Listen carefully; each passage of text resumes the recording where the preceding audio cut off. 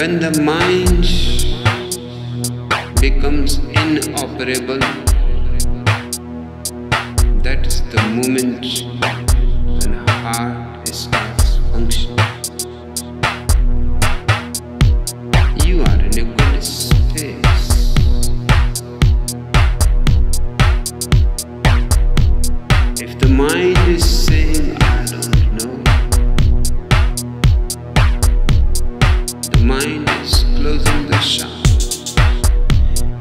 here the mind closes the shop. Immediately, doors of your heart start opening. There are two sides of the same coin. then there is no question of knowing or not knowing.